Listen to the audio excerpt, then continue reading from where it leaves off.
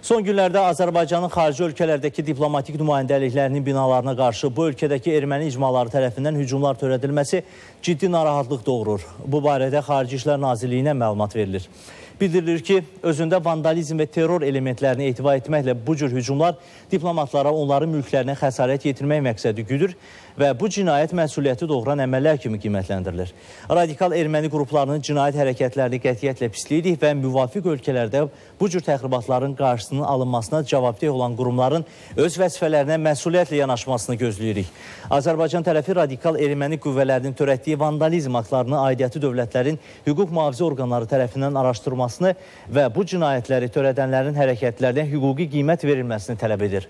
Xatırladaq ki, diplomat, e, diplomatik əlaqələr haqqında 1961-ci il Viyana Konvensiyasına uyğun olaraq diplomatik nümayəndəliyi hər cür hücumlardan və zərər vurulmasından qorumaq və nümayəndəliyin sakitliyinin pozulmasının və ya şərəfinin təhqir olunmasının qarşısını almaq üçün lazımi tədbirlər görmək yerləşmə dövlətinin xüsusi vəzifəsidir.